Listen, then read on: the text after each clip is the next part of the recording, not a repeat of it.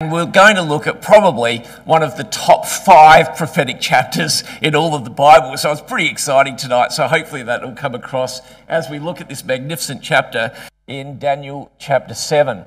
And when we look at this chapter, it's so important because it really is the commencement of a new section in the book. Um, in the first six chapters, we've got this contest of wills where the sovereignty of God um, is seen in our affairs. And from chapters 7 through to 12 is now the contest for the world, where we see the sovereignty of God in world affairs. And I'm not going to go through all those details, um, but it certainly it starts off a very new section in this book where it's written in the first person. Uh, it's very prophetical rather than biographical. Um, um, contrast to the five chapters of Syriac and one chapter of Hebrew in the first section, now that reverses with one chapter of Syriac here in chapter 7 and then the rest in Hebrew. Um, what's interesting about those Syriac chapters, though, is this really interesting dynamic between them where they're, they're paralleled uh, and contrasted through the section. Um, and of course, you've got the great comparison between Daniel chapter 2 with, Dan- with um, Nebuchadnezzar's image, and you've got Daniel's chapter 7 7, which is God's view of that same kingdom of men, not as a great, powerful image of man, but as what he sees them, the nations, beasts. And it all pivots around that little section in chapter, uh, chapter 4, verses 34 to 37, where Nebuchadnezzar has been made a beast that he might learn to give honor and glory to the God of heaven who rules. And so it's so significant that that is the pivot point of those chapters, which end with chapter 7, where we see God's view of the kingdom of men. They are beasts and need to submit to his will. And so while Nebuchadnezzar saw that image in chapter 2, as we saw of the head of gold of Babylon, the arms and the chest of Persia, the brazen uh, loins and thighs of Greece, and then the iron legs of Rome. What we now see in chapter 7 is the comparable animals, these beasts, for those dominions, and that's what we're going to look at tonight. Um, by way of introduction, it's important to understand that the focus, although it mentions Babylon and Persia and Greece, the real focus of this chapter is, is the Roman Empire which was split into two. You can see there one, one leg in the west was based in Rome, one leg in the east was based in Constantinople. And the focus of chapter 7 is really this, this western part of Rome, whereas chapter 8, which we'll be looking at next class, is in that um, eastern section of Rome. So when we look at chapter 7, it's broken up into two halves, parallel halves. In verses 1 to 16, we've got the vision, and in verses 17 to 28. And as I've mentioned, it focuses on that judgment on Western Rome, and particularly the little horn of uh, this fourth beast. We've got in verses 1 to 8 the vision of the four beasts, and then in verses 17 to 18, we're given the meaning of the four beasts. In verses 9 to 14, we're given the judgments that come upon the fourth beast, and in verses 19 to 27, the expansion of meaning about that fourth beast. In verses 15 to 16, we've got the, the effect it has on Daniel, how he was troubled. And then again at the end of uh, chapter 7, in verse 28, Daniel's troubled again. So Daniel is intimately involved in this message. And I want you to get involved with it tonight and, and to feel the power of this message, even as Daniel felt it. So let's have a look in verse 1 of chapter 7 of Daniel. In the first year of Belshazzar, king of Babylon, Daniel had a dream. Um, it's interesting that Belshazzar was only known from the prophet of Daniel uh, and one other um, document until about 1854. And then references were found to him in the Babylonian cuneiform inscriptions. He was the grandson of Nebuchadnezzar, who we know well, the son of Nabonidus. And when Nabonidus went uh, away, um, he headed up to, uh, um, up to Timar in his sixth year. Then Belshazzar took the throne. So this is BC 550. We can, we can date it from that message. And in that year, Daniel sees in verse 2 In my vision by night, this is a symbol of the night of Gentile darkness. This is the powers that are going to have a great influence on Daniel's people, the people of Israel. And in this seventh chapter, we see these four amazing beasts. Can you imagine being Daniel? You're sleeping. You know what it's like. You're having a nice rest. You might even be having a very pleasant dream. And then suddenly this dream changes and you get all confused and it's all distressing. And can you imagine seeing these animals? You know, you see this lion and then it's suddenly sprouting wings. That's, that's probably not too confusing. Daniel would have seen those uh, on many of the buildings when he was in Babylon, of course. He sees this bear with these three ribs. He sees this, this leopard, but it's not just an ordinary leopard. He's got four heads and four wings. That's, that's pretty startling. But then comes this fourth terrible beast. And it's terrifying. He is completely disturbed by this one. What an amazing vision. I just wanted to come over to Hosea for a minute in chapter 13. Because sometimes we might wonder, you know, why is it that so much of the world's history is missed out of the Bible? You know, we don't read about China. We don't actually read a lot about the United States, for example. When it comes to Bible prophecy, the important thing to understand is that God is interested in his people, Israel. And it's only in as much as the nations are involved with Israel that they're described in the scriptures. So if we have a look in Hosea chapter 13, we pick up the record um, in verse 6 that according to their pasture, so were they filled. They were filled and their heart was exalted. Therefore, they have forgotten me. So Israel turned away from their God. Therefore, he brings nations against them. Look at the nations in verse 7. He brings upon them the lion, Babylon. He brings upon them the leopard, Greece. In verse 8, I'll meet them as a bear. He worked through the Persians.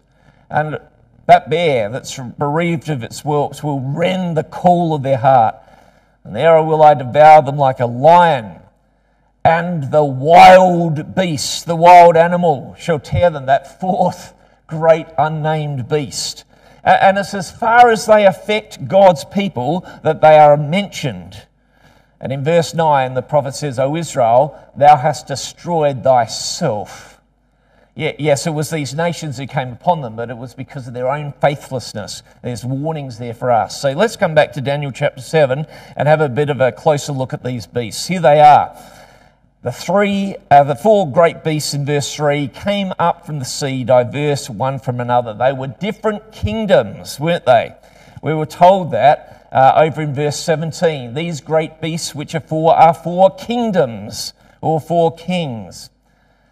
And so these are these kingdoms which come against Yahweh's people of Israel. The first one, verse 4, was like a lion, but it had eagle's wings.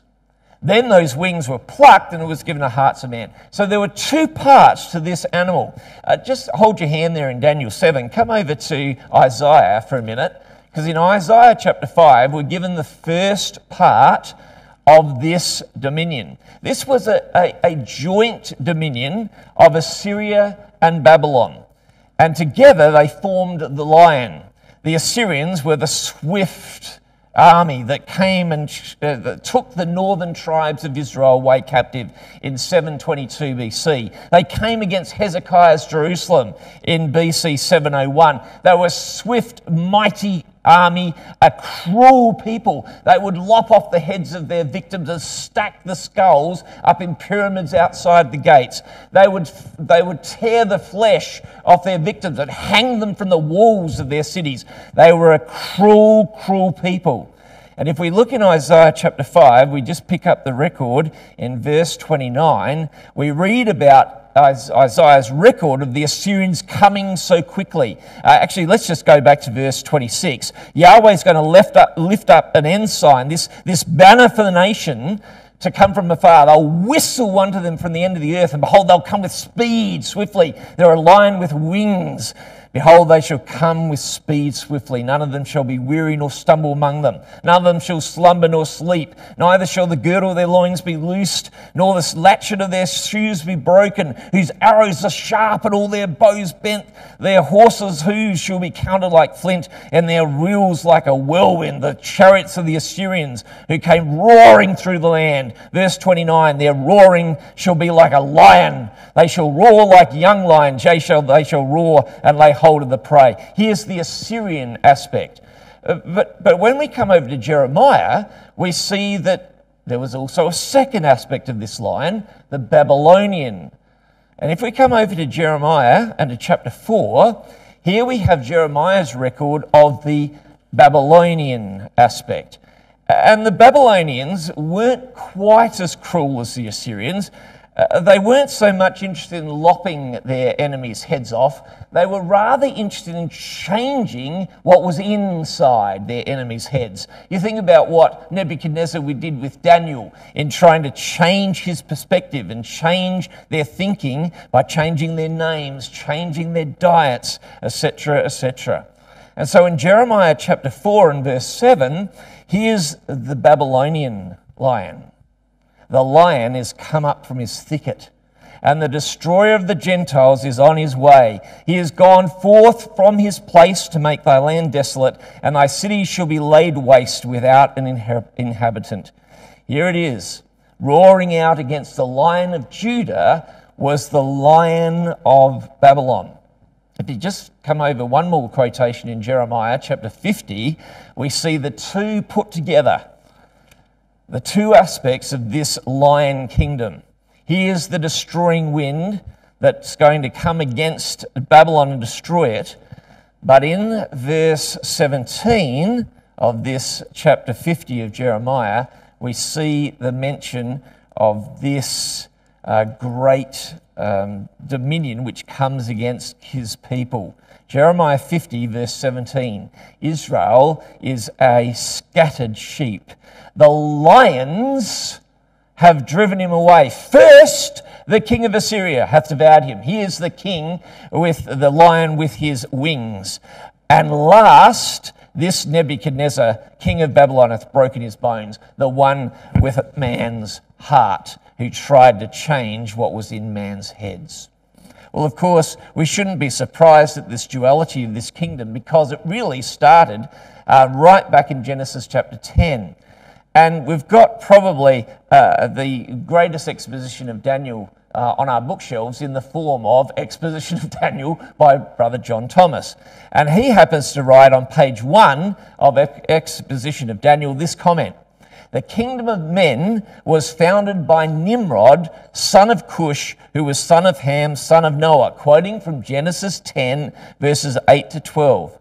This Nimrodia was the kingdom of men in the extent of it during the lifetime its founding, comprehending, as we see, Babylon and Assyria. See, Nimrod went out, he established Assyria, and particularly the city of Nineveh, its capital, and then went south and established Babylon, Shinar.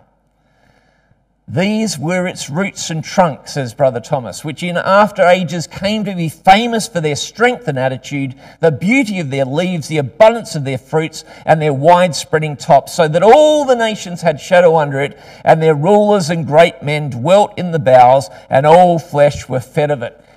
Here was the commencement of that great kingdom of men, and it was in this kingdom of Babylon and Assyria.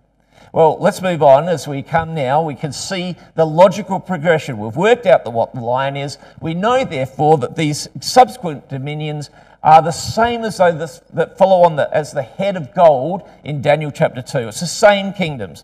The bear, Persia, raised up on one side because the Persian element of the Medo Persia Empire was far more powerful. There was only one Medo king of the Medo Persian Emperor.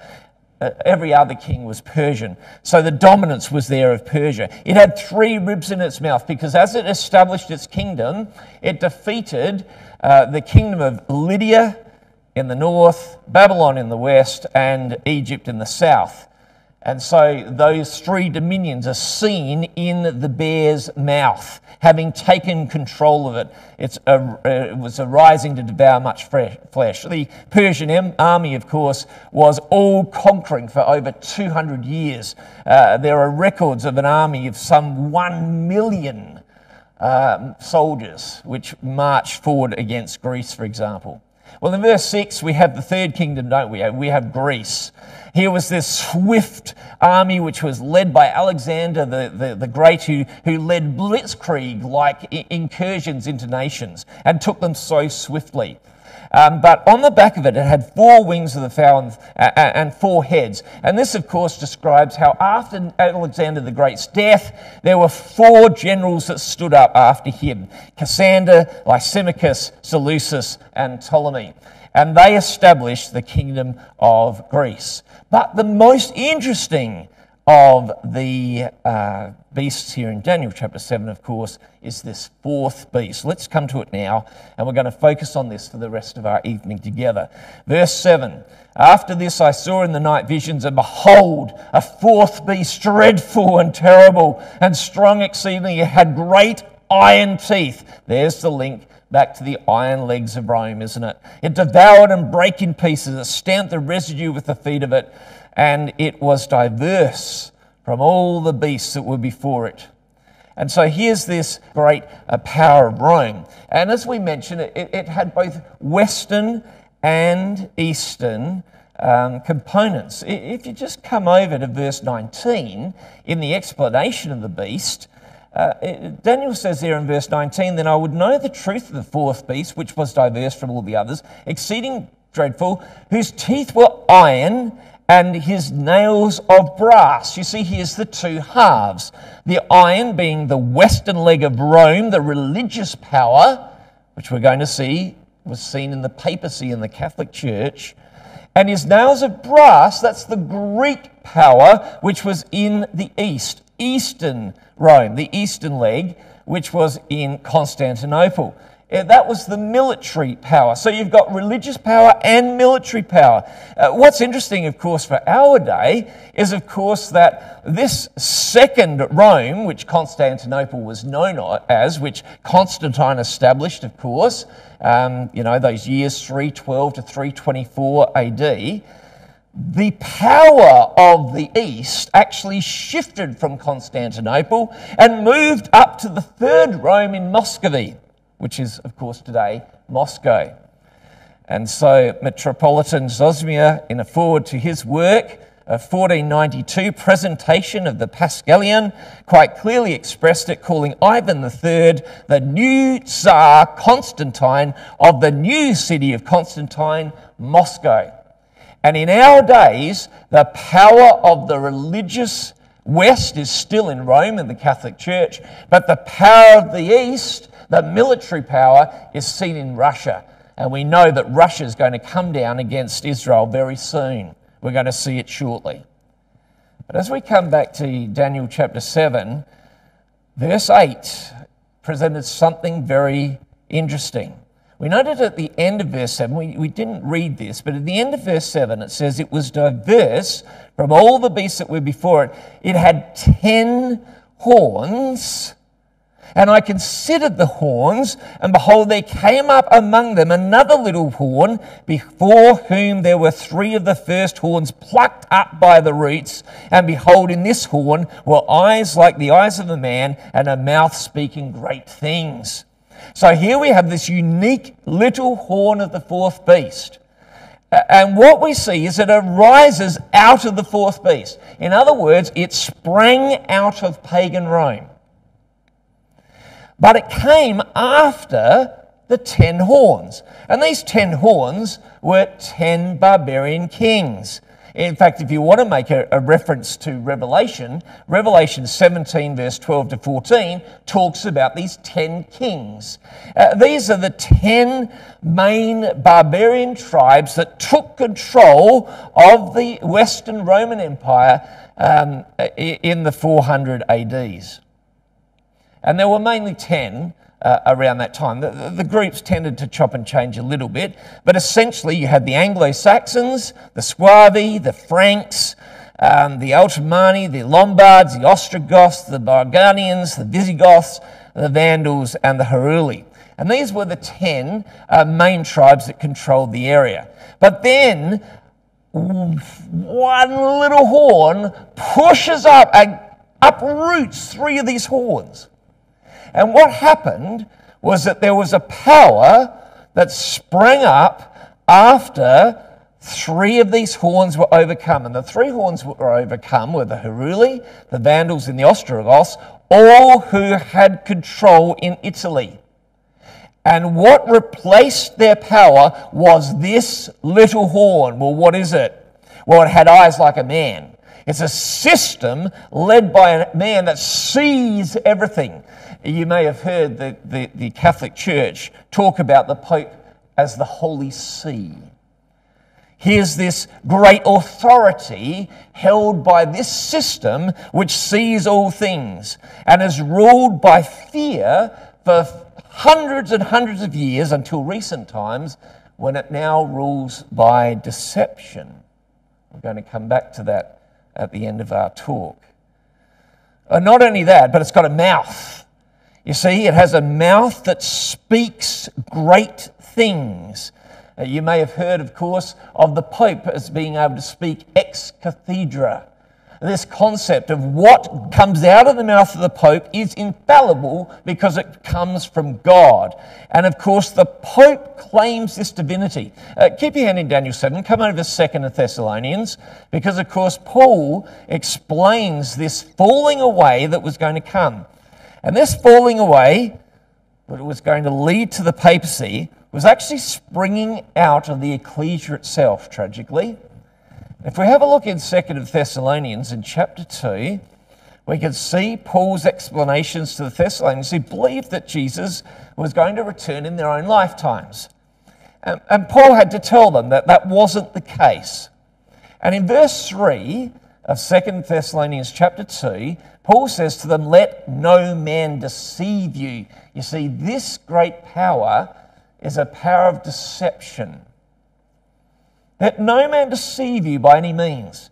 For that day shall not come except there come a falling away first. Some of you probably have got noted there that the Greek word there for falling away first is actually the word whereby we get the English word apostasy. This is an apostasy, which literally means a defection from the truth. Here's a group, a, a power that defects from truth and sets up their own deception as what is true. And that man of sin will be revealed, the son of perdition. Who is this man of sin, Paul? Verse 4 Who opposeth and exalteth himself above all that is called God, all that is worshipped, so that he as God sitteth in the temple of God, showing himself that he is God. Well, this is the man. Headed up, that papacy, the Catholic Church, the Pope. 4 verse 7 the mystery of iniquity does already work. The seed bed of the Catholic Church was seen in Judaism. Just go back to Zechariah chapter 5 in your own leisure. Have a look at how that woman in the ephah was lifted up from Jerusalem and shifted to Babylon and became that harlot system of Babylon the Great. Uh, the Catholic system sprang out of Judaism, which was forming through the ecclesia of God. It was already working in Paul's day. He was warning the disciples about these deceptive teachings which, which were coming from these Judaizers. Only, he says in verse 7, he who now letteth, uh, that's, that's the word we get in tennis, a let, it actually means to hinder. It's when the ball hits the net and it's hindered. So, so, so there was something hindering the formation of, the, uh, uh of this man of sin, the mystery of iniquity, and, and that was the pagan um, system of Rome itself. And pagan Rome was going to be taken out of the way, the end of verse 7 says, and then shall that wicked one be revealed, whom the Lord shall consume with the spirit of his mouth. What is the focus of this system? Verse 10 with all deceivableness of unrighteousness in them that perish, because they received not the love of the truth that they might be saved. And for this cause shall God send them a strong delusion, that they shall believe a lie, a deception, that they all might be condemned who believed not the truth, but had pleasure in unrighteousness. This system is all about trying to fool us, pull the wool over our eyes. That's the system of this papacy headed up by the Pope over the Catholic Church. And we come back to Daniel chapter 7, and we see in verses 21 and 25 that it makes war against the saints. This was the Inquisition of the Catholic Church against the true believers. You may have heard of the Spanish Inquisition, where there, was, there were people who didn't necessarily have the truth, but who stood up against the Catholics, who went through horrible persecution, torture, imprisonment, and death. And of course, there were faithful brothers and sisters down through that time. Uh, some of the work of Brother Alan Eyre has touched on some of those uh, groups. Well, in verse 25 of Daniel chapter 7, this system changes times and laws. Uh, and the Catholic Church did that. It changed our calendar to the Gregorian calendar. It has its traditions and its special days, just like the Jews had under the law. Catholicism sprang out of Judaism, this focus on salvation by works. And in verse 25, he has an ascendancy for a specific period of time. Let's have a look at it. Verse 25. And he shall speak great words against the Most High, and shall wear out the saints of the Most High, and think to change times and laws, and they shall be given into his hand until a time and times and the dividing of times. So the papacy had a set period of time and power. What is it? Well, very simply, a time is 360 days. That's how many days the Jews have in a year. So one time is 360 days, or day years. Two times is double that, 720 days. Half of that, of course, half of the time is half of 360, 180 days. If we add that together, 1260 days or 42 months. The papacy was to have dominion for a set period of time. It was going to end. What a wonderful, wonderful prophecy that was for the people, the believers in particular, who lived through the dark ages of that papacy. The ones who were being tortured, the ones who were being put to death. They were being told through the prophet don't give up. Keep believing. Hold on to your faith. Don't renounce the Lord Jesus Christ because the papacy is going to come to an end. And that time is repeated through Daniel and Revelation on a number of occasions. Daniel 7, verse 25, we've read. Daniel 12, verse 7, a time, times and a half. Revelation 12, verse 6, the woman fled into the wilderness. Here's uh, this um, group of saints, those who were called out, not believers, but uh, people who were set apart by God for withstanding the Catholic Church for 1,203 score days, 1,260 days.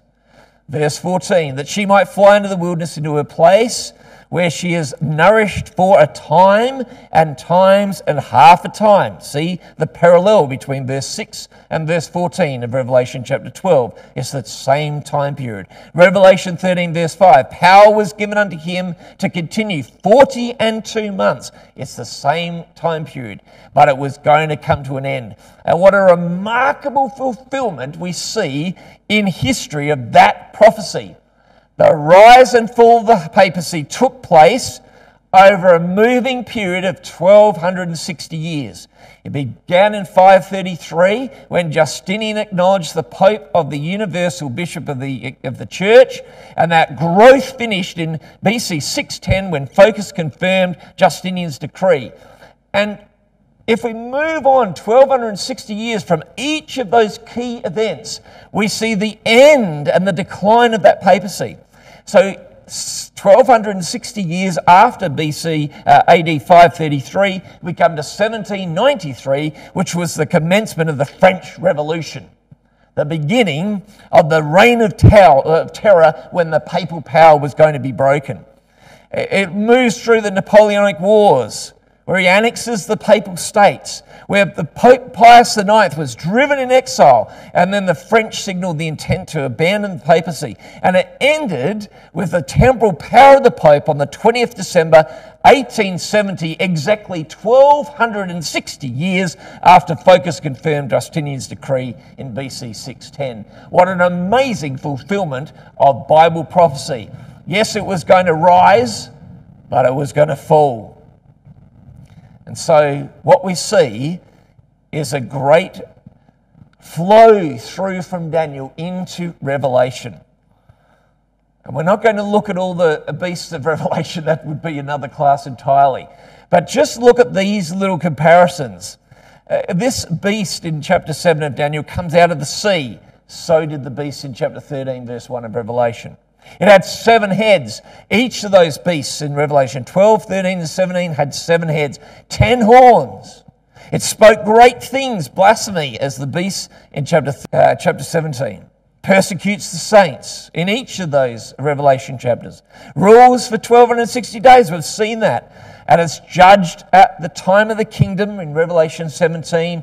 The saints assist with that judgment, and the beast is destroyed by fire. And that consistent message has been in Christadelphian teaching since 1848. That's our heritage.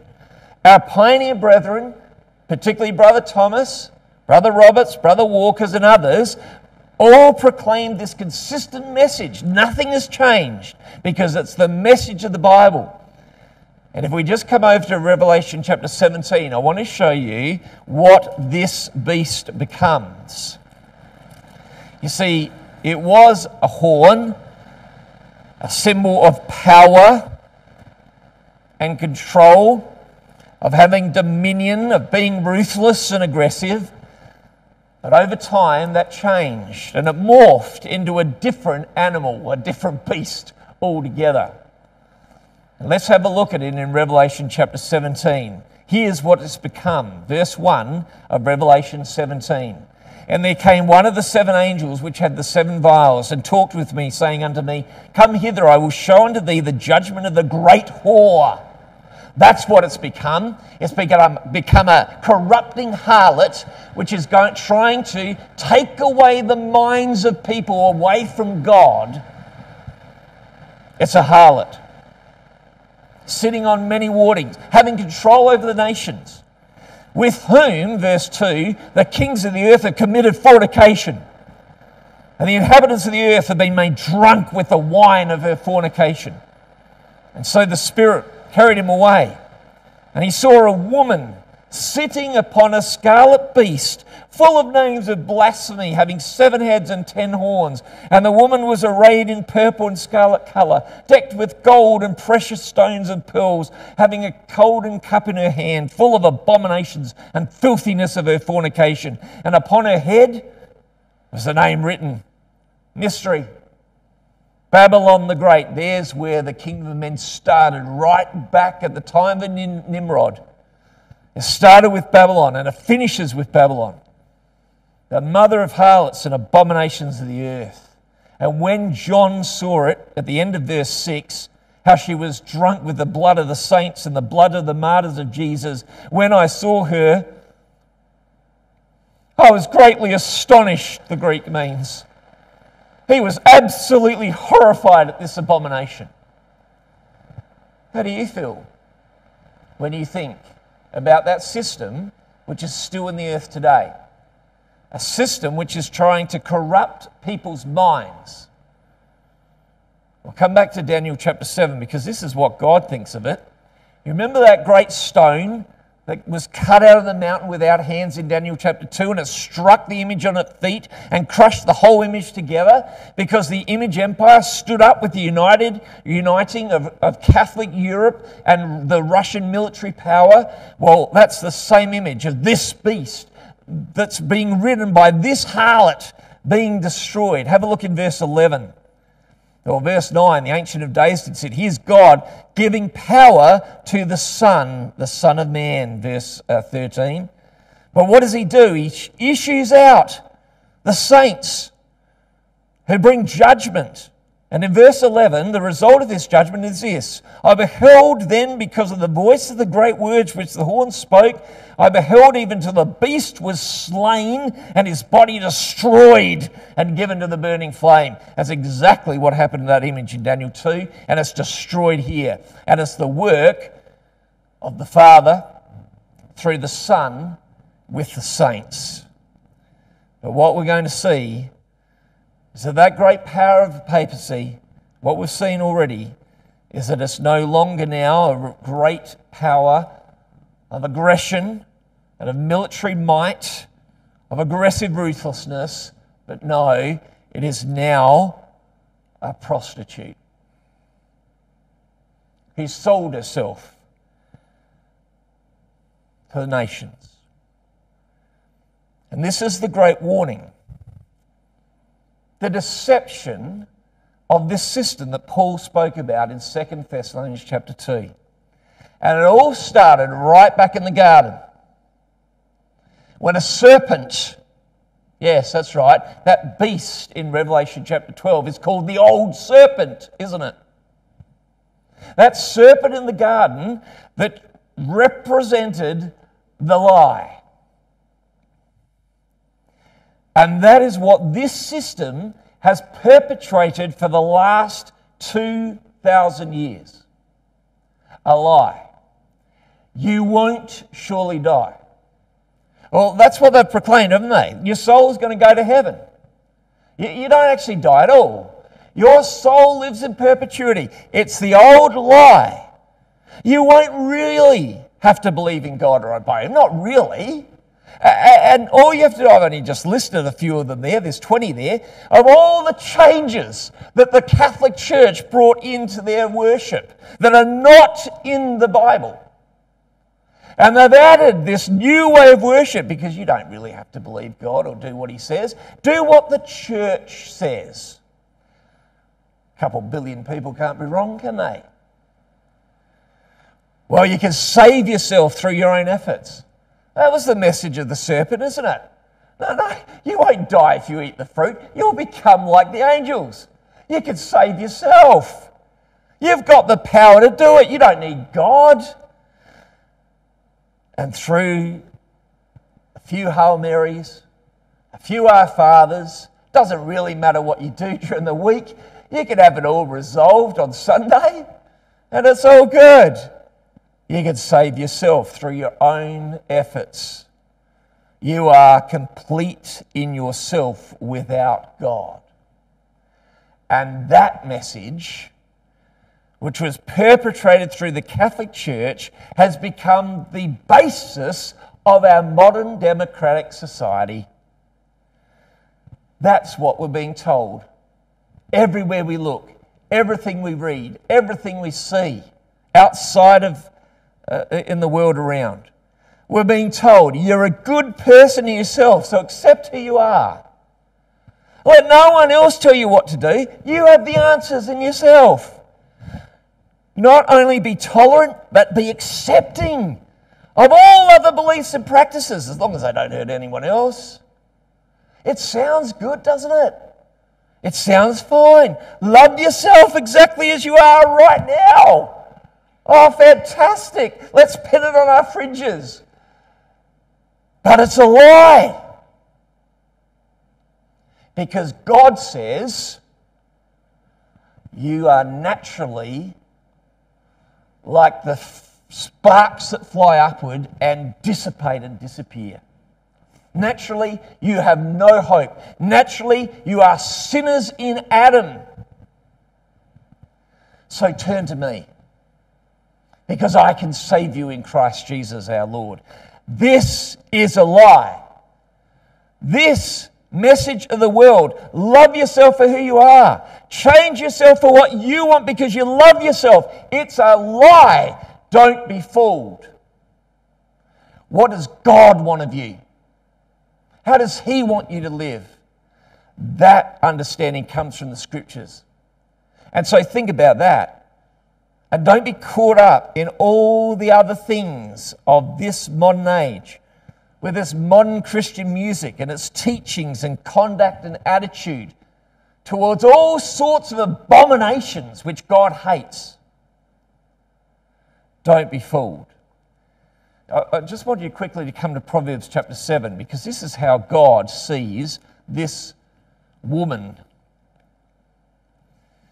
And in Proverbs 7, we've got this warning to bind God's word in our heart, to think about it that we might be kept from the strange woman. Let's have a look in verse 4. Say unto wisdom, Thou art my sister, and call understanding thy kinswoman, that they may keep them from the strange woman. The NIV says the adulterous woman. Here's the harlot system from the stranger which flattereth with her words.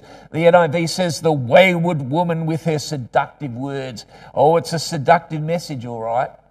Sounds good, makes you feel good about yourself. But Proverbs chapter 7 goes on to describe her in verse 11 as being loud. This religious corruption in verse 14, being this wealthy woman in verse 16, persuasive in verse 21 and free from all constraints of her master in verses 19 to 20. But what's her end? Verse 27. Her house is the way to hell, Sheol, the grave, going down to the chambers of death. That's the end result. The wide road that leads to destruction. Don't walk on that way, young people. No, verse 24 Hearken unto me now, therefore, O ye children. Listen to the Father. Attend to the words of my mouth. Let not thine heart decline to her ways. Go not astray in her paths. Don't err. Don't be corrupted by that way of thinking. Flee from her influence. Don't get caught up with her daughters. No, come out of her. And that's the great call of Revelation 18, isn't it? Babylon is fallen. Come out of her, my people. I just want to finish in 2 Corinthians chapter 6 because this is what we've been called to to leave behind that corrupt way of thinking whereby anything goes. And as long as it feels good and it suits us, then that's good enough. It's not good enough, young people. God wants us to live righteously before Him. Yes, He does the saving. There's no doubt about that. We are saved through His grace and mercy. But in appreciation of that, the Father expects us to live the way that He wants us to live. He has set certain criteria and boundaries by which we are bound. And we should delight in His law as the Lord Jesus Christ did. And so the Apostle Paul, in verse 14 of 2 Corinthians 6, says this, doesn't he? Be ye not unequally yoked together with unbelievers. For what fellowship hath righteousness with unrighteousness? And what communion hath light with darkness? What symphony, as the word means, hath Christ with Belial? Or what part hath he that believeth with an unbeliever? And what agreement hath the temple of God with idols? For ye are a temple of living God. As God has said, I will dwell within them and walks about in them, the Greek means. And I will be their God, and they shall be my people. Wherefore, come out from among them, and be ye separate, saith the Lord, and touch not the unclean thing, and I will receive you, and will be a father unto you. And ye shall be my sons and daughters saith the Lord Almighty. Don't be fooled by the harlot system, young people. All that it's selling is lies, emptiness, and vanity, and it will result in your death. But you turn to the Father. Separate yourselves from the things of this life. Separate yourself to Him. Touch not the unclean thing, and He will receive you in Christ Jesus. Believe and be baptized and live according to his righteousness. He will be a father unto you and will be his children. And when he sends his son back to the earth, as he soon will, to destroy that pagan system, we'll be with him. Who will be on the Lord's side? We can make that decision now.